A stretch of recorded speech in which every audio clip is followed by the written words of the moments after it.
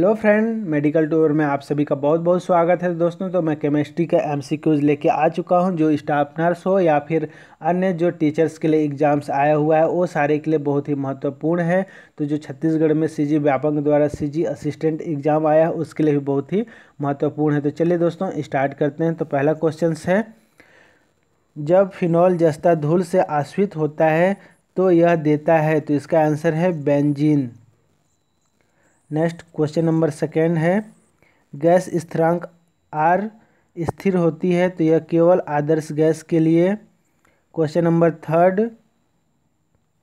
Gun कपास प्राप्त होती है जब सांद्र नाइट्रिक एसिड के साथ अभिक्रिया करती है तो सेल्यूलोज आंसर आएगा। क्वेश्चन नंबर फोर, ग्रेफाइट है तो उष्मा का अच्छा चालक होता है। इथेनॉल का निर्जलीकरण देता है तो एथिलीन देता है। क्वेश्चन नंबर सिक्स कथन एक कक्ष में केवल दो इलेक्ट्रॉन हो सकते हैं के रूप में जाना जाता है तो यह है पाउली का सिद्धांत के अनुसार होता है। यौगिक जो नकारात्मक आयोडो फॉर्म परीक्षण देता है C six H five C H two and C H two O H यह इसका आंसर है।